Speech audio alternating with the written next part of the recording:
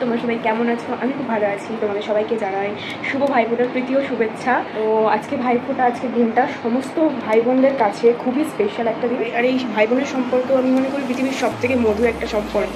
কারণ আমাদের ভাই বোনরাই কখনো দরকারে বন্ধু হয়ে ওঠে আবার প্রয়োজনে শাসনও করে, মায়ের মতন আগলে রাখে, বাবার মতন দায়িত্বও নেয়।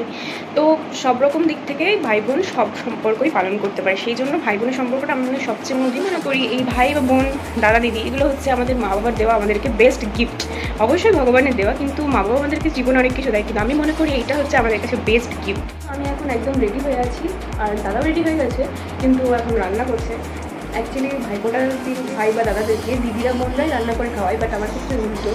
আমি ও রান্নাটা খুবই পছন্দ করে, এটা আমাদের মধ্যে খুবই একটা মানে অপোজিট ক্যারেক্টার তো ওই জন্য ও রান্নাটা খুব করতে ভালোবাসে, তো ওই রান্না করছে, আর আমি খাব।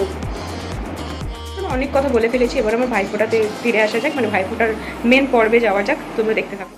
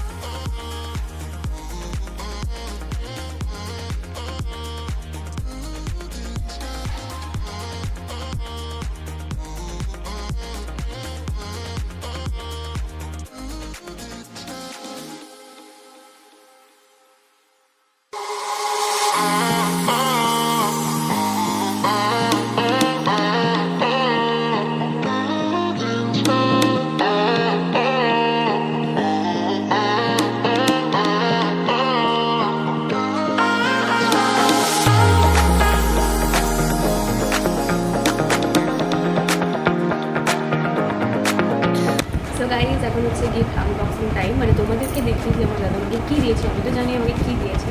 সো চলো তোমরা দেখি না আমাকে কী দিয়েছে দাদা!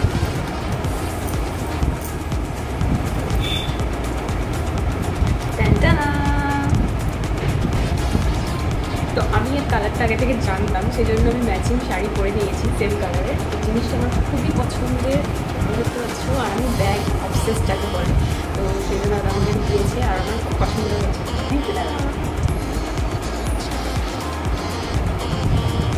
অনেকগুলো ছবি এখন তুলতে হবে এটার সাথে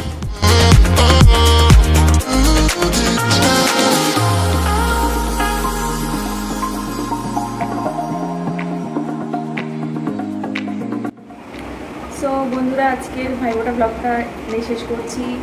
যদি ভিডিওটা ভালো লেগে থাকে, অবশ্যই লাইক সাবস্ক্রাইব অ্যান্ড শেয়ার করে দিও। কমেন্ট করতে ভুলো দেখা হচ্ছে নেক্সট ভিডিওতে ততক্ষণের জন্য বাই বাই